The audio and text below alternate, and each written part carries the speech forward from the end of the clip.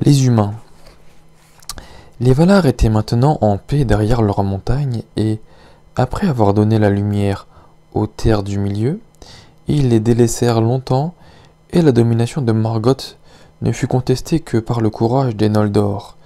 Ulmo, pourtant, ne cessait de penser aux exilés et toutes les eaux de son domaine lui apportaient des nouvelles de la terre. On date de cette époque les années du soleil. Elles sont plus courtes et passent plus vite que les longues années des arbres en Valinor. L'air des terres du milieu était alourdi par le souffle de la croissance et de la mort. Le changement et le vieillissement de tous les êtres en étaient grandement accélérés la terre et les eaux foisonnées de vie en ce second printemps d'Arda. Les Eldar se multipliaient et le soleil nouveau couvrait Beleriand de verdure et de beauté. Au premier lever du soleil, les derniers enfants d'Iluvatar s'éveillèrent au pays d'Ildorien, à l'est des terres du milieu. Et comme le soleil s'était levé à l'ouest, leurs yeux s'ouvrirent à sa vue et leurs pas, pour la plupart, se dirigèrent vers lui quand ils se mirent à errer sur la terre. Les Eldar les appelèrent les Atani, le second peuple, et aussi les Ildor, les survivants, et d'autres noms encore, Apanor, les derniers-nés, Engwar, les malingres, Firimar, les mortels, et ils les surnommèrent les usurpateurs, les étrangers, les impénétrables, les maudits, les maladroits, ceux qui ont peur de la nuit, les enfants du soleil. Ces contes parlent peu des humains, car ils décrivent les temps anciens d'avant l'ascension des mortels et le déclin des elfes, sauf des Atanari, les pères des humains, qui errèrent au nord du monde pendant les premières années du soleil et de la lune. Aucun Valar ne vint à Ildorien pour guider les humains ou les inviter à venir à Valinor, et les humains ont craint les Valar plus qu'ils ne les ont aimés. Ils n'ont jamais compris les intentions des puissants, étant eux-mêmes trop différents et en conflit avec le monde. Pourtant Ulmo se pencha sur leur sort Suivant le conseil et le désir de Manwë, il leur envoya des messagers dans les rivières ou les inondations. Mais ils n'étaient pas doués pour ce langage, et moins encore avant qu'ils ne se fussent mêlés aux elfes. Ils aimaient les eaux, leur cœur en était ému, mais ils n'en comprenaient pas les messages. On dit qu'avant longtemps, ils rencontrèrent, des elfes de la nuit, qu'ils leur offrirent leur amitié et que les humains dans leur enfance devinrent les compagnons et les disciples de ce peuple antique, ceux des elfes qui n'étaient jamais allés à Valinor et ne connaissaient des Valar que le nom et une rumeur lointaine. Morgoth n'était pas depuis longtemps sur les terres du milieu. Son pouvoir ne s'étendait plus très loin et il avait été brutalement mis en échec par la venue de la Grande Lumière.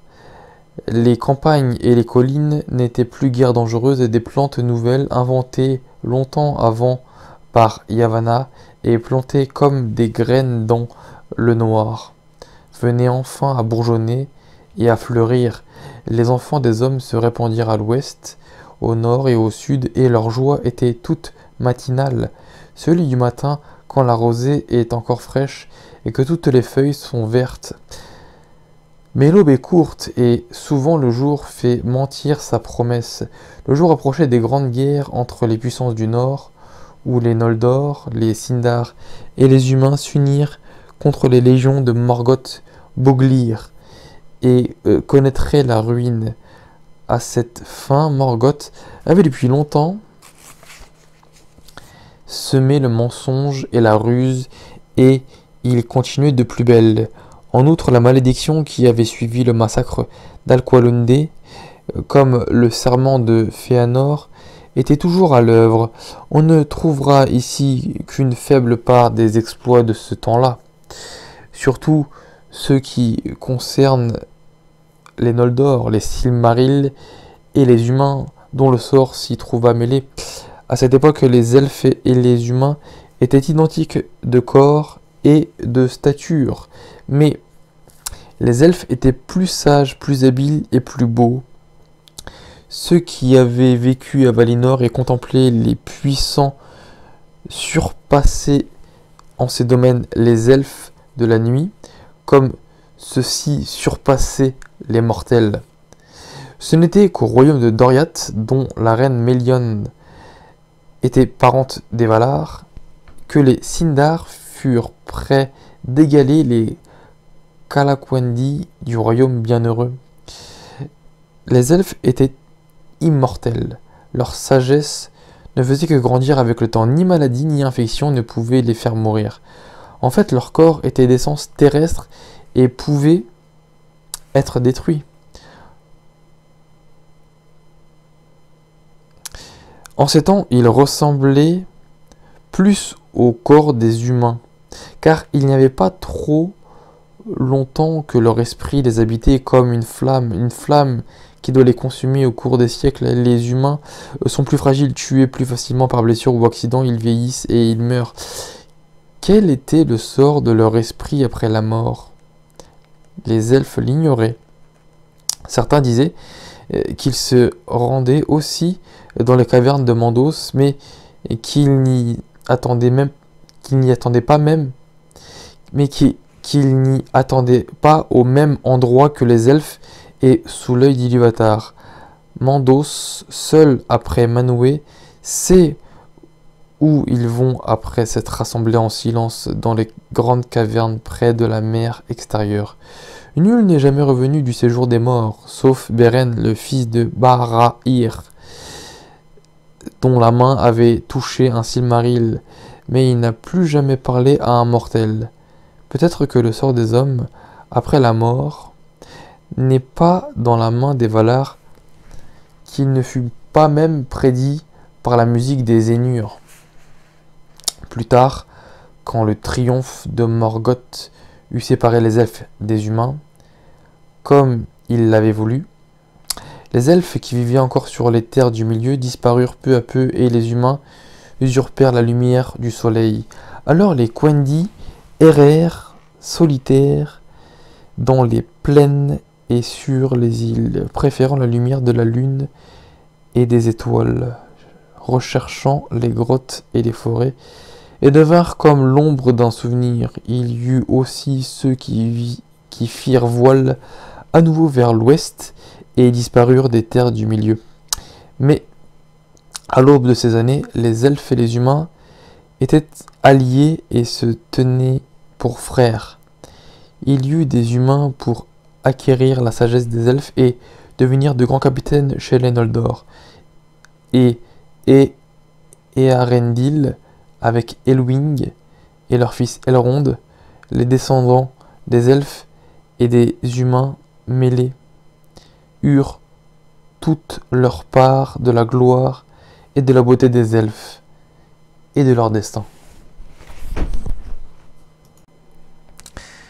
Le retour des Noldor. Il a été dit que Fénéor et ses fils furent les premiers parmi les exilés à venir sur les terres du milieu. Ils arrivèrent dans le désert de Lamotte au grand écho de l'autre côté de l'estuaire du Dringist. Au moment où les Noldor mirent le pied sur la grève, leurs voix furent reprises et renvoyées par les collines alentour, de sorte qu'une grande clameur, comme celle d'une foule immense, retentit sur le rivage du nord. Et le bruit de l'incendie des navires à l'Oscar fut porté par les vents marins comme l'écho d'une terrible colère qui vint frapper de stupeur ceux qui au loin l'entendirent. Il n'y eut pas que Fingolfin, abandonné par Féanor en Araman, pour voir les flammes de cet incendie, mais aussi les orques et les vigiles de Morgoth. Aucun récit ne dit ce que Morgoth pensa en apprenant que Féanor, son plus cruel ennemi, avait amené une armée au nord. Peut-être ne le craignait-il pas, car il n'avait pas encore éprouvé les glaives des Noldor, et il fut bientôt clair qu'il voulait les rejeter à la mer. Avant que la lune vînt éclipser la froide lumière des étoiles, l'armée de Féanor remonta l'estuaire du Drengist entre les collines de l'écho, Ered, Lomin, et atteignit le vaste territoire d'Itlum. Quand ils arrivèrent sur la rive nord du grand lac Mitrim, ils installèrent leur camp dans la région qui porte le même nom. Mais les hordes de Morgoth, alertées par le fracas de Lamotte et l'incendie de Losgar, traversèrent les cols des montagnes de l'ombre, Ered Wetrin, et attaquèrent Féanor par surprise avant que le camp ne soit complètement installé et en position de défense. Les plaines grises de Mitrim vinrent alors la seconde bataille. Les plaines grises de Mitrim virent alors la seconde bataille des guerres de Beleriand. On l'appelle Dagor, Nuin, Giliath, la bataille sous les étoiles, car la lune n'était pas encore levée et des chants célébrèrent ce combat. Les Noldor, moins nombreux et, pris au dépourvu, remportèrent cependant une victoire rapide. Leurs yeux avaient conservé l'éclat de la lumière d'Aman. Ils étaient encore plus, ils étaient encore forts et rapides. Leur colère était mortelle et leurs épées grandes et terribles. Les orques s'enfuirent ensuite à travers les montagnes de l'ombre jusqu'à la grande plaine de Ardgalen, qui est au nord de Dortonion. Là, les armées de Morgoth, celles qui avaient descendu la vallée de Sirion vers le sud pour harceler Sirdan dans les ports des Phalas, vinrent à leur secours et partagèrent leur défaite, car Célégorm, le fils de Féanor, ayant appris leur arrivée, les prit dans une embuscade avec une partie de l'armée des elfes. Il s'abattit sur eux depuis les collines près d'Ethel Sirion et les repoussa dans les marais de Serech. Il arrivait à Angband des nouvelles désastreuses et Morgoth fut pris d'épouvante. La bataille dura dix jours et, de toutes les armées qu'il avait formées pour la conquête de Beleriand, il ne lui revint qu'une poignée de feuilles mortes. Pourtant, il avait de quoi se réjouir grandement, même s'il ignorait encore. Féanor, dans sa rage contre l'ennemi, ne voulait pas s'arrêter et presser sans relâche ce qui restait des orques. Pensant que les fuyards le conduiraient à Morgoth lui-même, il riait tout haut, l'épée brandie, heureux d'avoir osé défier la colère des Valar et, les dangers de la route, et de voir approcher l'heure de sa vengeance.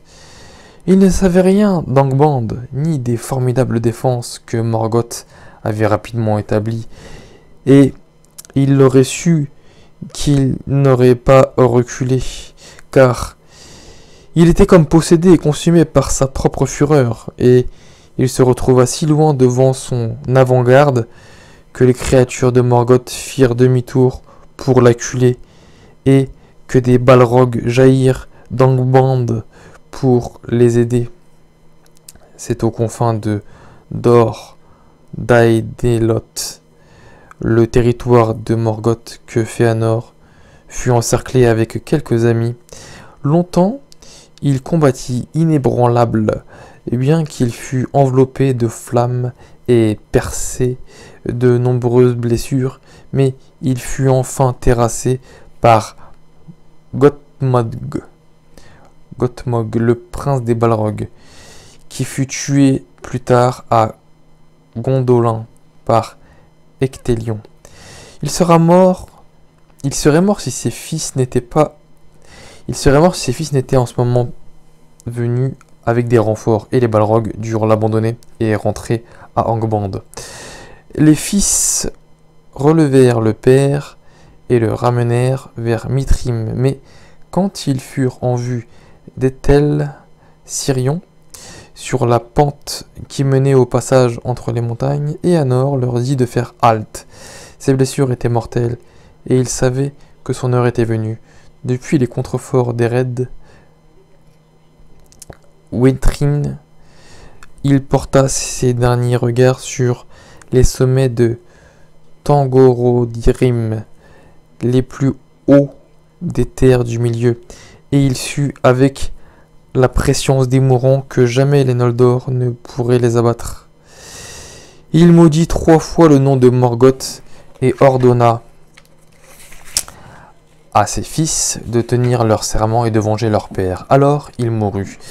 Mais il n'eut ni funérailles ni tombe, car l'ardeur de son esprit était telle qu'à sa mort son corps fut réduit en cendres et se dissipa comme une fumée.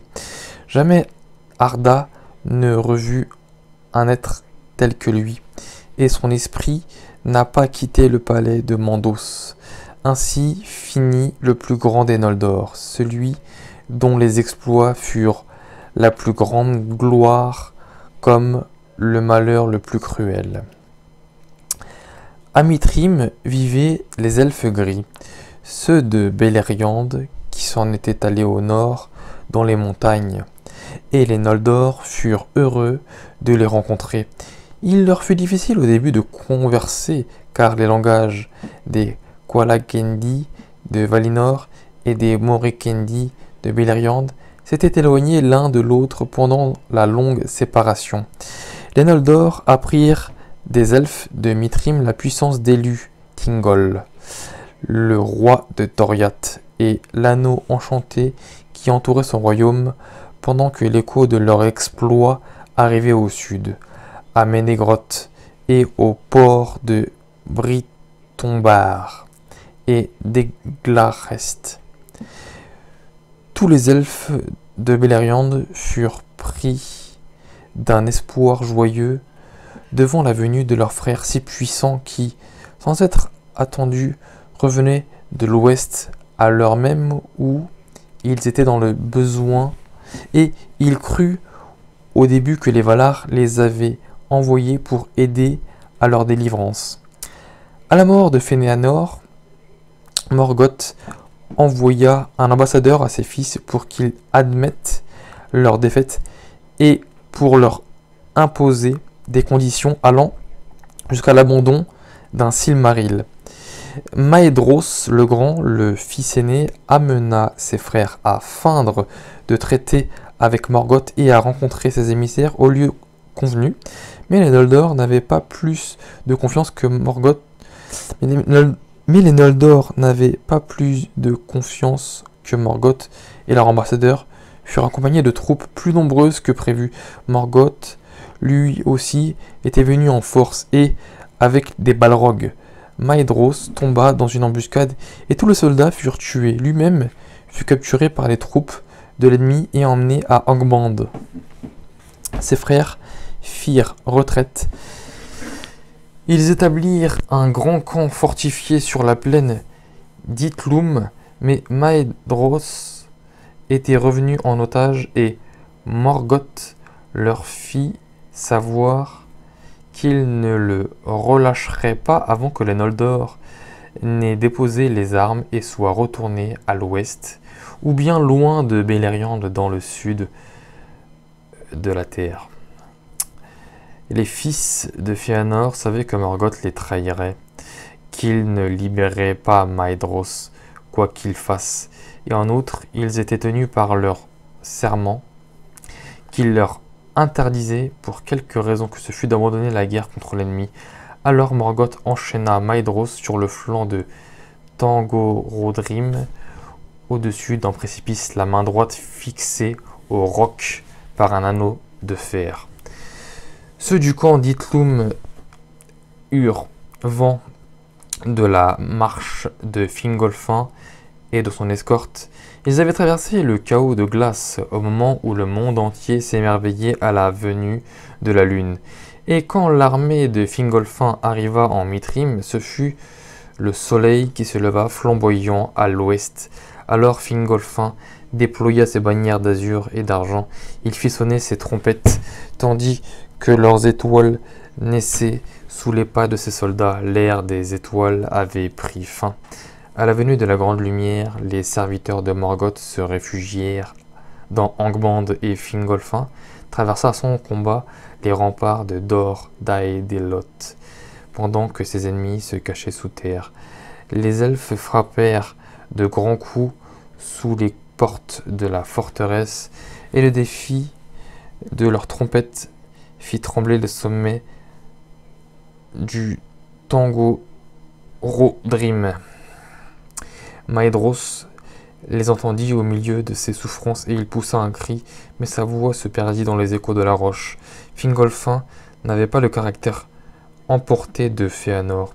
Il se méfiait des ruses de Morgoth et il quitta Dor Daedelot pour retourner vers Mitrim, car il avait entendu dire qu'il les fils de Féanor et il désirait l'abri des montagnes de l'ombre pour que son peuple se repose et reprenne des forces. Il avait vu la puissance d'Angband et il ne pensait pas que le bruit des trompettes suffirait à la faire tomber.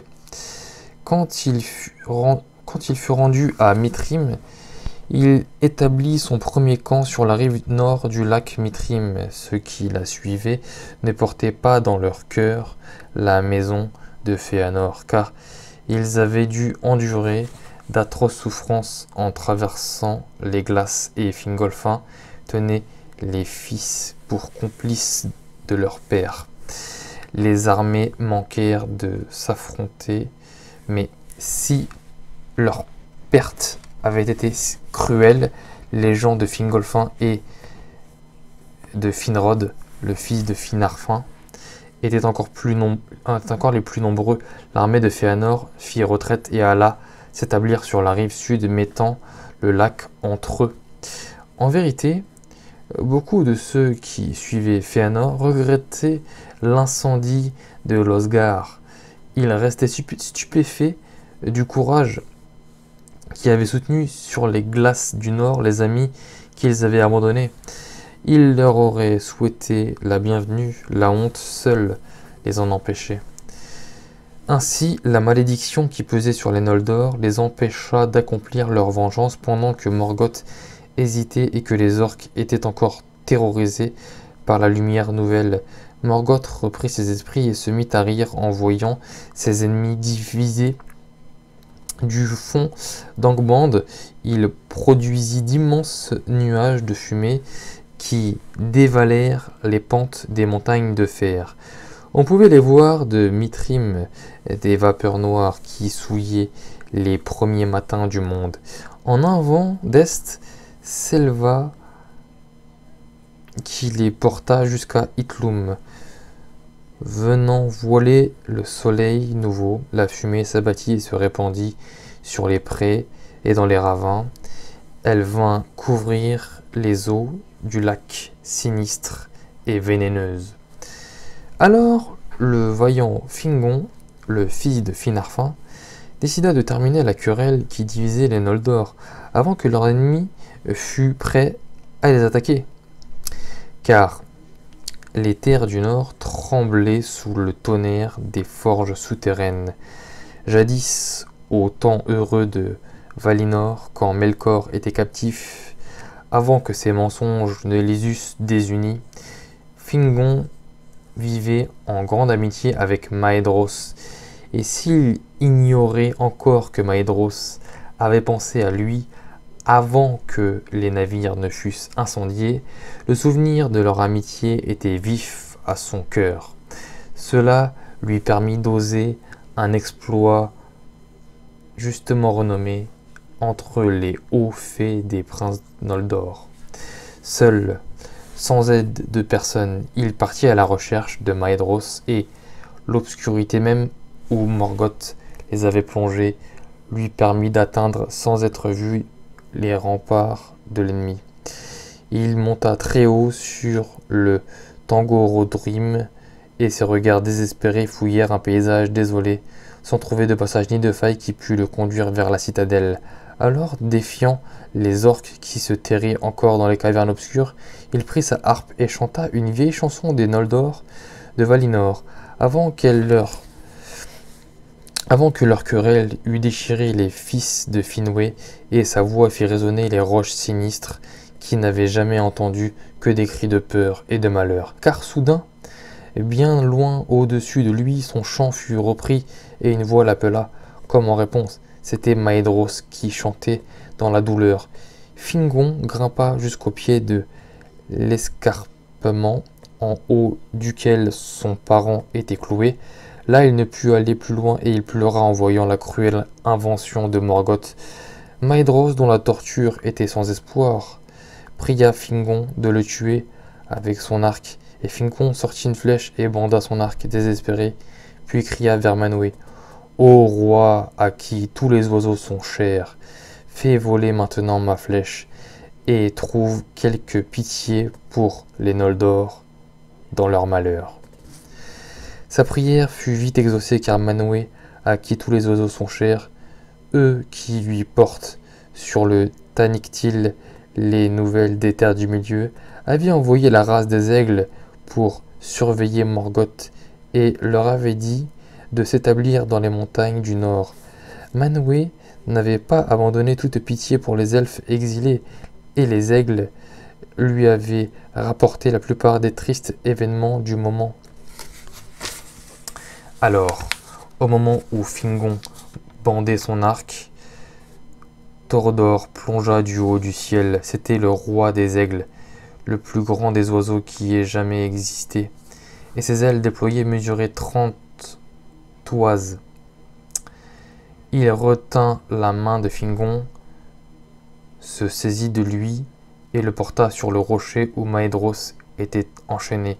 Là, il fut incapable de détacher l'anneau infernal qui enserrait le poignet, ni de le briser, ni de l'arracher à la pierre. Dans sa souffrance, Maedros le supplia de l'achever, au lieu de quoi Fingon lui trancha le bras au-dessus du poignet, et Torondor les emporta vers Mitrim. Avec le temps, Maedros guérit sa blessure, car la flamme de la vie brûlait en lui, et il avait la force de ceux qui avaient grandi à Valinor. Son corps se rétablit, il retrouva sa vigueur, mais la souffrance avait jeté une ombre dans son cœur, et son glaive fut plus redoutable à sa main gauche qu'il n'avait été à sa main droite. Cet exploit fit beaucoup pour le renom de Fingon. Tous les Noldor l'acclamèrent, et la haine entre les maisons de Fingolfin et de Féanor sembla disparue. Maedros demanda le pardon pour la désertion d'Araman et renonça à prétendre à la royauté sur tous les Noldor. Il dit à Fingolfin S'il n'était nul grief entre nous, Seigneur, la royauté te reviendrait de droit, à toi qui es l'aîné de la maison de Finwë, et non le moins sage. Mais en cela, ses frères n'était pas du tout au cœur avec lui. Et comme l'avait prédit Mandos, ceux de la maison de Féanor furent appelés les dépossédés parce que la suzeraineté était passée de leur branche l'aînée à celle de Fingolfin, à Beleriand comme à Elendé, et aussi à cause de la perte des Silmaris.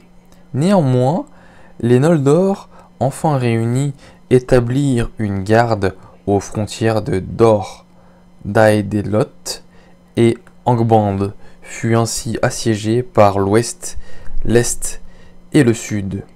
Ils envoyèrent aussi des éclaireurs au loin pour explorer le pays de Beleriand et traiter avec ses habitants. Le roi Tingol n'accueillit pas sans arrière-pensée la venue d'un si grand nombre de princes venus en force de l'Occident pour se tailler de nouveaux fiefs. Aussi son royaume resta fermé et l'anneau enchanté ne s'ouvrit pas car, suivant le conseil de Mélian, il pensait que Morgoth ne resterait pas longtemps inactif. Les princes de la maison de Finalfin furent les seuls Noldor admis à passer la frontière de Doriath, car ils pouvaient se prévaloir de leur parenté avec le roi lui-même, leur mère étant Earwen et Dalakonde, la fille d'Olwe.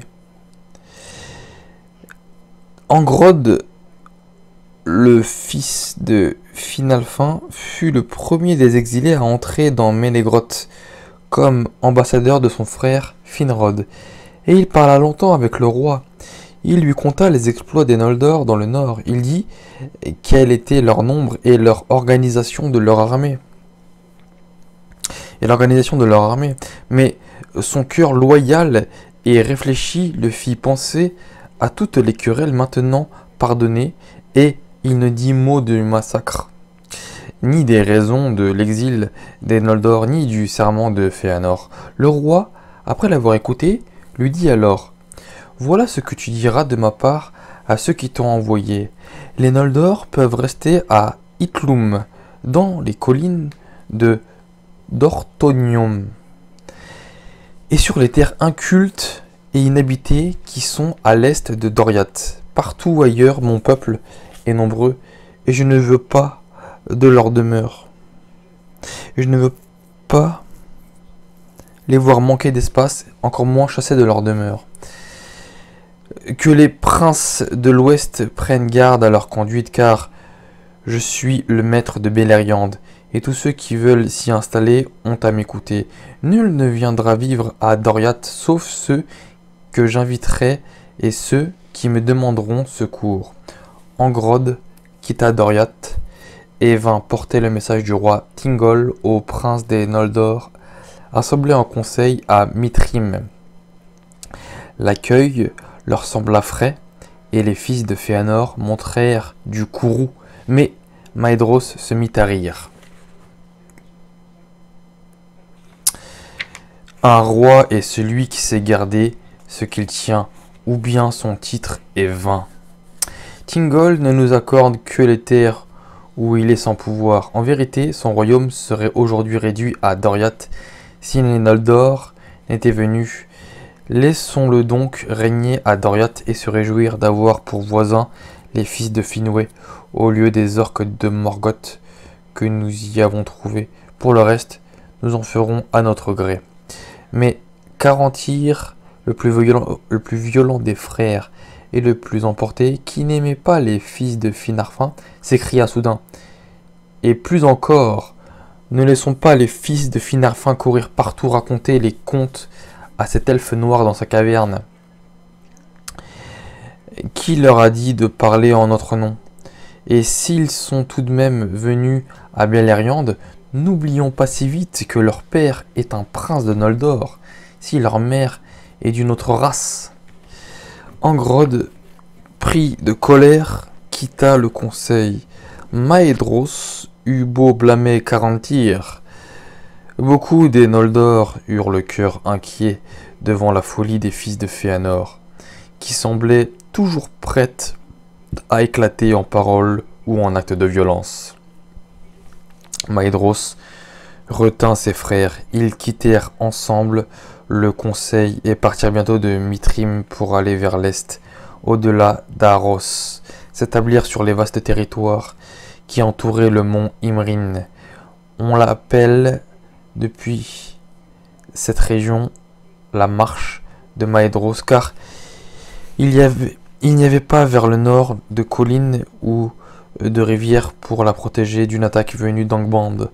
Maedros et ses frères montèrent alors la garde contre l'ennemi avec l'aide de tous ceux qui se joignirent à eux, et ils n'eurent plus guère de rapport avec ceux de l'Ouest, sauf en cas de besoin. On dit que Maedros lui-même voulut qu'il en soit ainsi pour diminuer les risques d'affrontement. Il avait gardé son amitié pour les maisons de Fingolfin et de Finarfin, et allait parfois tenir conseil avec eux. Mais lui aussi était tenu par son serment, bien qu'il parût en sommeil. Les gens de Carantyr allaient encore plus loin, à l'est, au-dessus des sources du Guélion. Ils passèrent le lac et le Vorn, à l'ombre du mont Rérir, et montèrent sur les sommets de l'Ered Luin. Là, ils posèrent vers l'est les regards stupéfaits, des regards stupéfaits, tant les terres du milieu leur semblaient immenses et sauvages. Et c'est ainsi que le peuple de Caranty rencontra les nains qui avaient cessé tout trafic avec Beleriand après l'assaut de Morgoth et la venue des Noldor. Ces deux peuples avaient en commun l'amour du travail et le désir d'apprendre. Mais ils ne s'aimaient guère. Les nains étaient de caractère secret, prompts à la rancune, et Carantyr, toujours arrogant, cachait mal son mépris pour l'aspect disgracieux des Nogrim imités par son peuple. Néanmoins, la peur et la haine qu'ils avaient tous deux pour Morgoth en firent des alliés, et ils en tirèrent grand profit car les Nogrim apprirent beaucoup de nouvelles techniques, les forgerons, les, maçons de Nogrod et de Beleriand gagnèrent en renom, et quand les nains reprirent leur voyage à Beleriand, tout le commerce de leurs mines passa d'abord entre les mains de Karatyr, qui en tira de grandes richesses. Quand le, Quand le sommeil eut compté vingt de ces années, le roi des Noldor, Fingolfin, donna une grande fête. Il eut lieu au printemps près des fontaines d'Ivrin, où Narog le clair torrent prenait sa source dans une campagne plaisante et verdoyante abritée du nord par les montagnes de l'ombre. Plus tard, au temps de la peine, on se souvint longtemps de cette fête joyeuse et on l'appela Meret Adertad, la fête des retrouvailles. Il y vint beaucoup de gens, des officiers des maisons de Fingolfin et de Finrod, des fils de Féanor comme Madros et Maglor, des soldats de la marche orientale, aussi bon nombre d'elfes gris, ceux qui peuplent les forêts de Beleriand, et enfin ceux des ports avec leur seigneur Cirdan. On vit même des elfes verts du pays des sept rivières, Syriandes, qui vivent sous les montagnes bleues, mais de Doriath ne vinrent que deux messagers, Mablung et Daeron, venus apporter le salut du roi.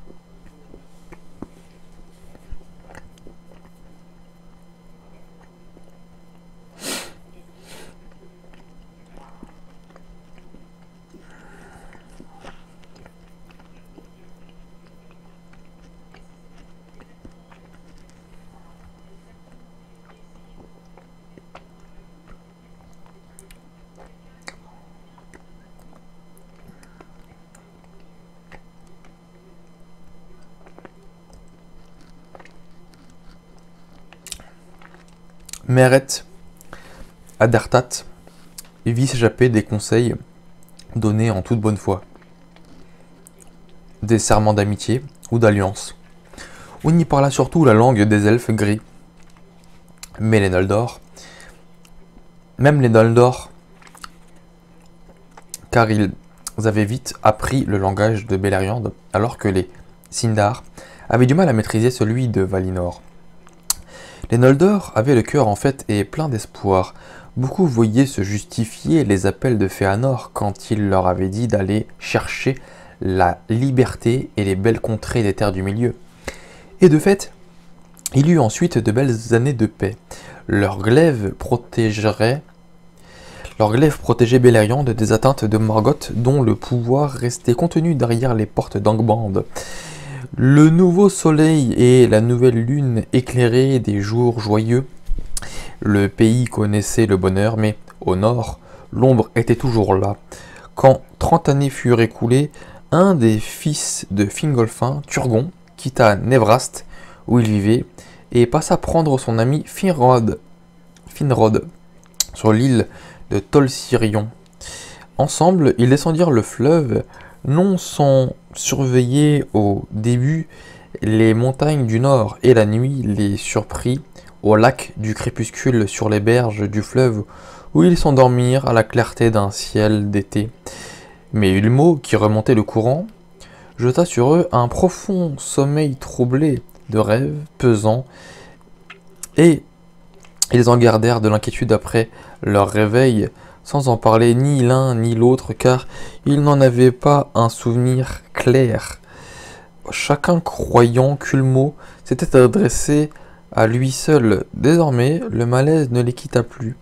Comme un pressentiment de ce qui allait venir, ils s'aventurèrent souvent dans les régions inexplorées pour chercher des endroits propres à être fortifiés.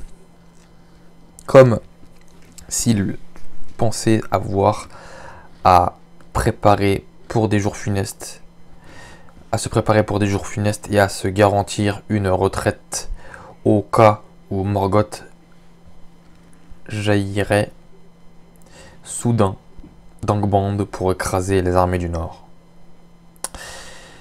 Plus tard, Finrod et sa sœur Galabriel furent les hôtes à Doriath du roi Tingol, leurs parents.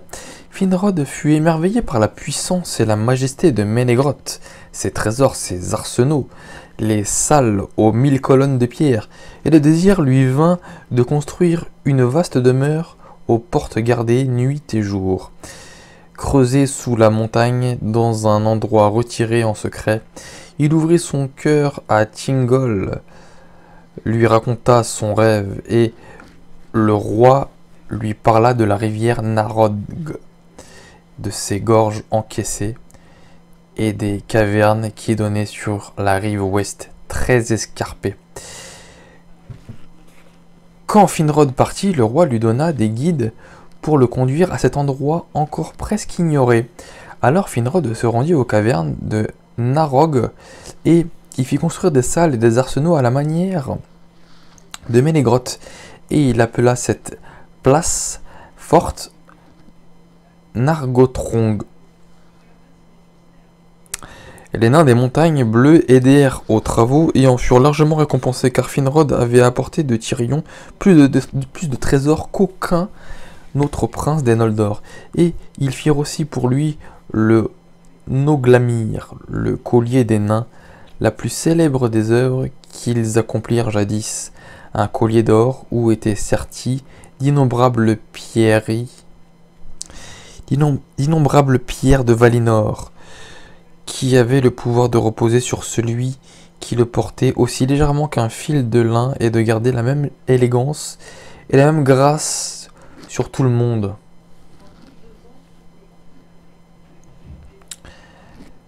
Finrod vint habiter à Nargothrond avec un grand nombre de ses gens.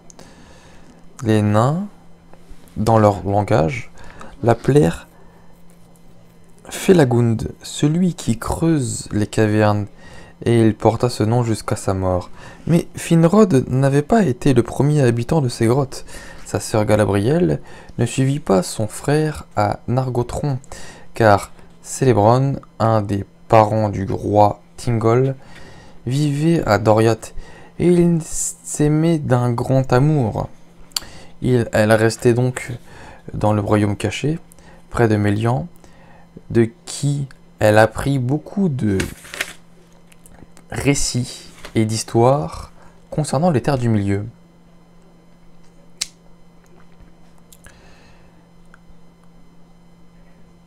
Turgon, lui, ne pouvait oublier la ville sur la colline. Tyrion, la magnifique, sa tour et son arbre, et il ne trouva rien qui lui convint, et il retourna donc à Névraste et vécut paisiblement à Vignamar, près de la mer. L'année suivante, Ulmo lui-même lui apparut et lui enjoignit de retourner seul dans la vallée du Sirion. Turgon se mit en route et découvrit, avec l'aide d'Ulmo, une vallée cachée dans un cercle de montagnes, Tumladen, où se dressait une colline rocheuse.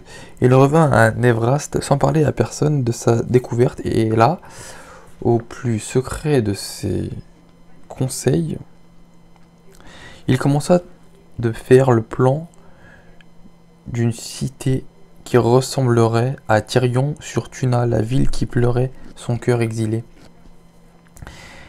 Alors Morgoth, croyant, d'après les rapports de ses espions, que les princes de Noldor voyageaient sans trop penser à la guerre, voulut éprouver la vigilance et la résistance de ses ennemis. Et soudain, une fois encore, son pouvoir se déploya, les terres du nord se mirent à trembler, la terre s'ouvrit en fissures béantes, d'où il sortit du feu. Les montagnes de fer vomirent des flammes, et les orques envahirent les plaines d'Ardgalen. À l'ouest, ils franchirent le col du Sirion et à l'est, ils passèrent entre les collines de Maedros et les contreforts des montagnes bleues pour faire irruption sur les terres de Malglor. Mais ni Fingolfin ni Maedros ne dormaient, et pendant que d'autres poursuivaient les orques qui s'étaient dispersés en petits groupes pour dévaster Beleriand, ils tombèrent chacun d'un côté sur l'armée d'Angband quand elle attaqua d'Ortonion. Ils écrasèrent les serviteurs de Morgoth et rattrapèrent les fuyards dans les plaines d'Argalen pour détruire les fuits pour détruire jusqu'au dernier même en vue des portes d'Angband. Ce fut la troisième grande bataille des guerres de Beleriand, d'Agor à Glareb, la bataille glorieuse.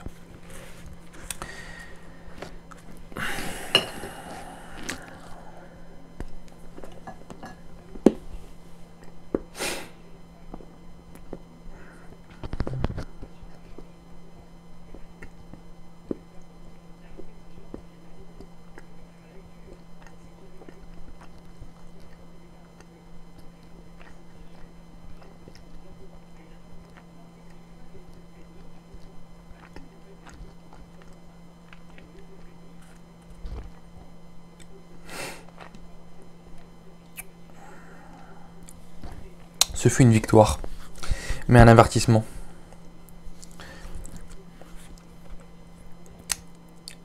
Et les princes Noldor durent en tenir compte. Ils rapprochèrent les camps de leurs armées, ils renforcèrent les garnisons et se disposèrent à soutenir le siège d'Angband, lequel dura bien 400 années solaires. Après, Dagor à il n'y eut pendant longtemps aucun serviteur de Morgoth pour s'aventurer hors d'Angband, tant il craignait les princes Noldor. Et Fingolfin se vantait de ce que Morgoth ne pourrait jamais échapper à ses assiégeants ni les prendre par surprise, à moins de trahison dans leur rang. Pourtant les Noldor restaient implacables de faire Pourtant, les Noldor restaient incapables de faire tomber Angband ou de reprendre les Silmarils, et le siège ne mit pas complètement fin à la guerre, car Morgoth inventait sans cesse de nouvelles perfidies qui les mettaient à l'épreuve. En outre, on ne pouvait encercler vraiment la citadelle de Morgoth, car les montagnes de fer lui faisaient un rempart circulaire d'où s'avançait le Tango Rodrim. Et la neige et la glace les rendaient infranchissables. Pour les Noldor, infranchissable pour les Noldor.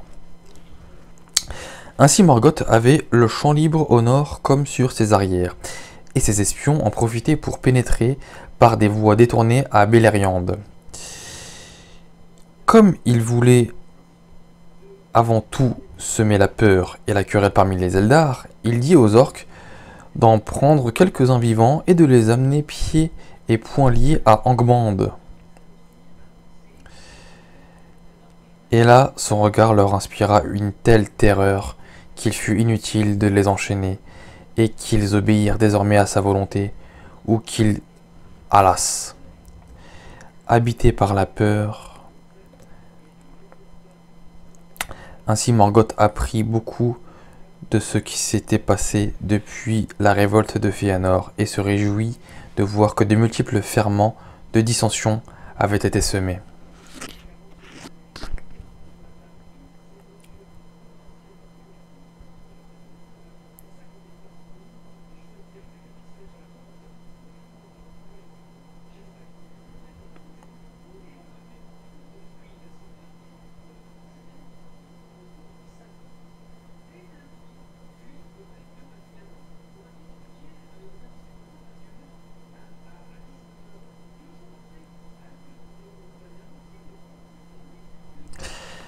Après que près de 100 années furent écoulées depuis Dagor à Glareb, Morgoth connaissait la vigilance de Maedros, tenta de prendre Fingolfin par surprise.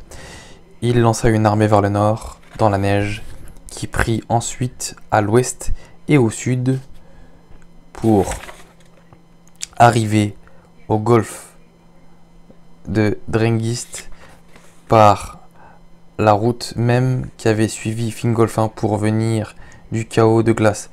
Il serait entré dans Itlum par l'ouest s'il n'avait été surpris à temps. Fingon s'abattit sur eux dans les collines au nord du golfe et la plupart des orques furent rejetés à la mer.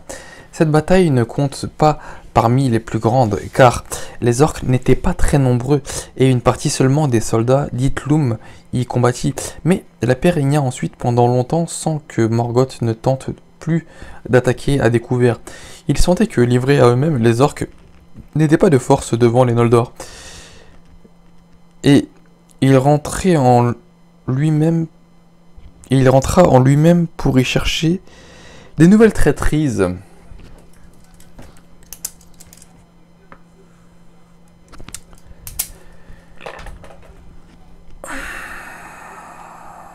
Après cent années de plus, Glorun, le premier des Uro, des Uruloki, les cracheurs de feu, venus du nord, sortit la nuit des portes d'Angband. Il était encore jeune et n'avait que la moitié de sa taille adulte, car les dragons grandissent lentement s'ils y vivent longtemps. Mais les elfes furent terrifiés à sa vue et s'enfuirent jusqu'à Ered, Vétrine et Dortognon le laissant dévaster les plaines d'Argalen. Alors Fingon, prince de Itlum, marcha sur lui, accompagné d'archers à cheval, et l'entoura d'un cercle de cavaliers qui le harcelaient de traits. Glorune n'était pas encore suffisamment cuirassé pour supporter les flèches, et il s'enfuit vers Angband, dont il ne sortit plus avant longtemps. Fingon fut acclamé et les Noldor se réjouirent, car la plupart ne comprenaient pas la menace que représentait cette nouvelle créature. Morgoth fut mécontent de ce que Glorun se fût trop tôt découvert. Et 200 années de paix suivirent la défaite du dragon. Les marches de Beleriand n'eurent à connaître que des échauffourées. Que des échauffourées. Le royaume s'enrichit et prospéra. Les Noldor, à l'abri des garnisons du Nord, construisir maisons et châteaux et accomplir des œuvres de beauté.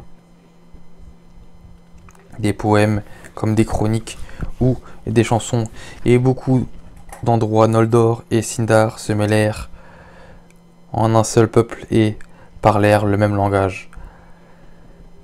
Bien qu'il restât entre eux cette différence que les Noldor étaient plus forts de corps et d'esprit, qu'ils avaient les plus beaux savants et les guerriers les plus redoutables, qu'ils construisaient, en pierre et qu'ils aimaient le versant des collines et la pleine campagne, tandis que les Sindar avaient les plus belles voix, de plus grands dons musicaux, sauf Maglor, un fils de Féanor,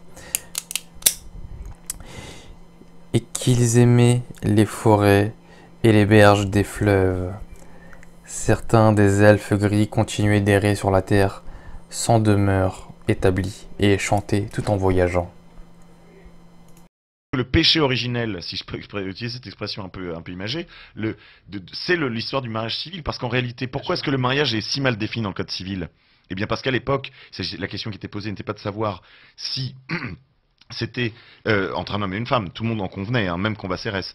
Mais si, le mariage était dissoluble ou non.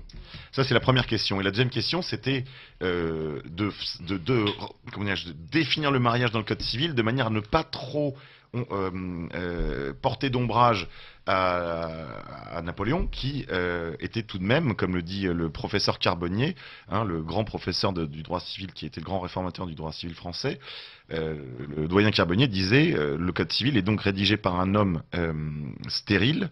Enfin, pardon, par un homme trompé par une femme stérile. Donc mmh. là, on est, on est, on est au cœur du problème de la. Non, mais c'est pour ça que le mariage est si mal défini, c'est parce qu'ils n'ont pas voulu poser des définitions, parce que les, à l'époque, les, les, légistes se séparaient entre ceux qui voulaient, euh, on va dire, autour de, de, de, de l'école d'ancien régime, ce qui a été l'école d'ancien régime, qui voulait un mariage indissoluble, et ceux qui voulaient le divorce. Et, d'ailleurs, euh, on peut rebondir en disant que peut-être que le mariage pour tous sera une très très bonne nouvelle pour la tradition.